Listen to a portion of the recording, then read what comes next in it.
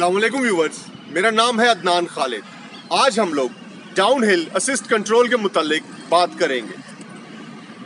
Down hill assist control system driver को ढलवान और खराब रास्तों से नीचे उतरते हुए असिस्ट करता है। इस सिस्टम को एंगेज करने के लिए गाड़ी की स्पीड 15 माइल्स पर आवर से कम होनी चाहिए, पहला गियर सिलेक्ट होना चाहिए या रिवर्स गियर होना चाहिए। सिस्टम को ऑपरेट करने के लिए स्पीड 15 माइल्स पर आवर से कम होनी चाहिए। गियर सिलेक्टर की मदद से पहला गियर सिलेक्ट करें और डेक का बटन दबाएँ।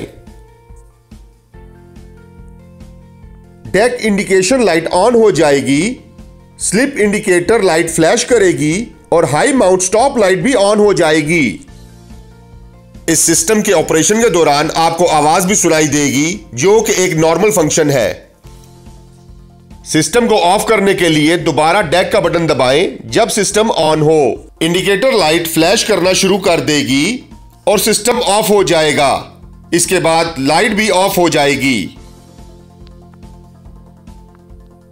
अगर सिस्टम के काम करने के दौरान ब्रेक ओवरहीट हो जाए तो बजर की आवाज़ सुनाई देगी, जिसके बाद आप गाड़ी को साइड पर रोक दें। ऑटोमोटिव बिज़नेस में मेरे क्लाइंट्स हैं, जिनके बिज़नेस को चलाने में मैं उनकी बिज़नेस कोचिंग करता हूँ। अगर आप भी ऑटोमोटिव बिज़नेस में अपना vision mission objective strategy action plan बनाना समझना चाहते हैं तो हमें zero double three five four double seven double seven six three पर व्हाट्सएप करें। हम आपका बिज़नेस वर्क फ्रेम बनाने में आपकी मदद करेंगे, जिससे आपके बिज़नेस को एक प्रॉफिटेबल बिज़नेस बनाने में मदद मिलेगी। इनशाला फ्यूचर में भी ऐसे टेक्निकल वीडियोस के साथ हाजिर होंगे।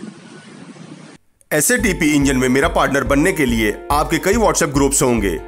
इस वीडियो को इन ग्रुप्स में ज़रूर शेयर करें, जिससे एस को एक डायरेक्शन मिल सके, ताकि लोगों को अपनी गाड़ी के सिस्टम समझने और टेक्नीशियंस को काम करने में मदद मिल सके। अगर आपको ये वीडियो पसंद आई तो ज़रूर लाइक पर क्लिक करें, हमारे यूट्यूब चैनल को सब्सक्राइब करें और नीचे लगे हुए बेल आइकॉन पर क्लिक करें, ताकि आपको आने वाली हर वीडियो के बारे में अपडेट मिलती रहे। हमें अपनी कीमती आरा से ज़रूर आगाह रखिएगा।